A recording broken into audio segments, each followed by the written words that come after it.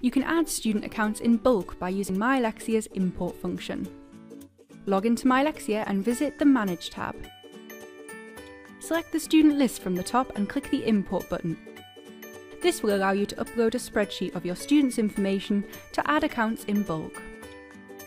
Before doing this, make sure to access the template file by clicking the Import Guidelines link here and downloading the empty template file. Here are some things to remember when preparing this template.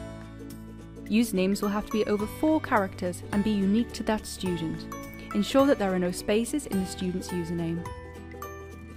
Passwords will also need to be over four characters, but can be the same for every student if desired. Passwords must only consist of letters, numbers and underscores and are case sensitive.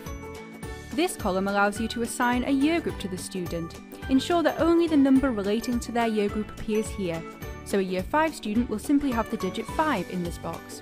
Type R if you are adding a student in the reception year. You can also use the template to assign the student to a class. To place the student in existing class, make sure that the class name is spelled identically to how it appears in the classes list in MyLexia, or a new class will be created. Of course, if you wish to create a class here, simply add the name of the new class into this box instead. Class names are not case sensitive. A student may be placed in more than one class. Each class name should be separated by a comma with no space after the comma. Finally, you will need to add the name of your school next to each student in the school column. Ensure this is spelled identically to how it appears in MyLexia. One tip is to copy and paste the school name from the top of the Manage tab.